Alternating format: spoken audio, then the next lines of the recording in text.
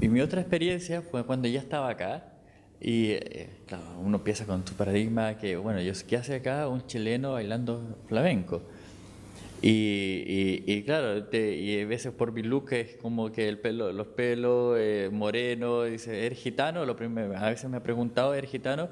Y cuando me escuchan hablar y se, dan cuenta que yo no soy gitano y que soy chileno, que soy de, qué parte de América eres, porque primero Chile está no está muy bien localizado, o sea, como, o sea, lo que la gente lo conoce, pero no se, no se imaginan cómo, cómo es el acento del chileno en general conoce más al argentino, al, cubano, al colombiano, o bueno, al mexicano, pero el chileno es como un acento, es un poco extraño.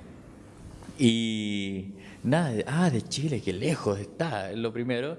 Y, yo creo que el decir que lejos está y que y por todo lo que da la comunicación ahora, hoy en día, que, Chile está súper bien posicionado, que está, eh, tiene una, eh, un nivel cultural bueno, que está bien económicamente. Quizás eso ha, me ha, hecho que, que, rompa un poco el paradigma de que, que sea como lejano o como un, se, se, se, sienta alguna xenofobia por parte de la gente de acá. Entonces, yo me, sentí súper bien acogido desde un principio.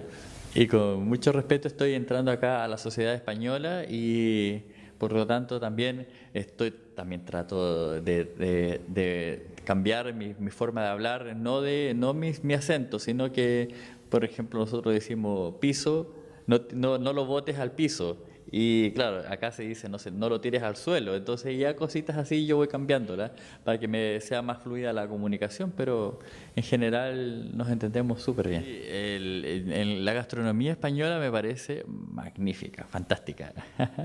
Realmente eh, es...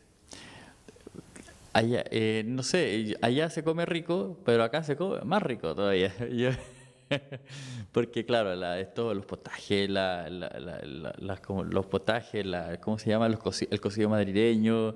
Eh, es que en realidad a mí, y la forma también de comer como de tapas, de comer cositas de pocos raciones, eso, eso a mí me, me gusta, me gusta bastante. Eh, no solamente sentarse y comer, sino que el hecho de picar, de picotear por, por ambos lados y, y alimentarte, eso me gusta bastante. Porque es más, es más vivo, es más activo. Eh, también me gusta eh, que todo el mundo conversa en, el bus. Eh, uno va en el autobús y todo el mundo te habla, te puede decir, oye, usted, y empiezan a opinar y al final todo el bus está hablando del mismo tema y eso lo encuentro genial.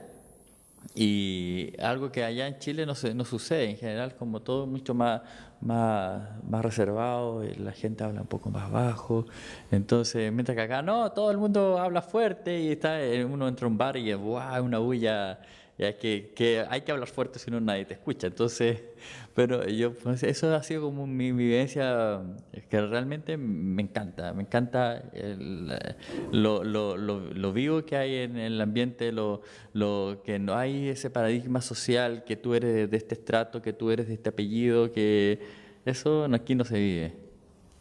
Que allá en Chile sí se vive, de qué apellido es, qué estudiaste, en qué colegio estabas, todo un, un tema.